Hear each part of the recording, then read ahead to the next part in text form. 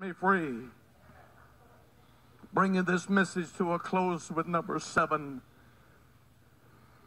Pray that God would move in this hour.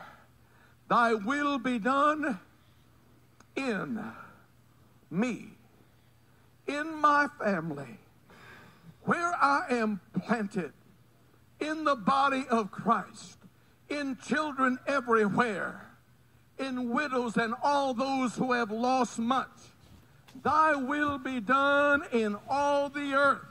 Thy will be done in all the earth. Thy will be done in all the earth. Thy will be done in all the earth. But you say, face it, it's not going to happen there. It's not going to happen in Iraq. How do you know? If you're talking about a miracle, God.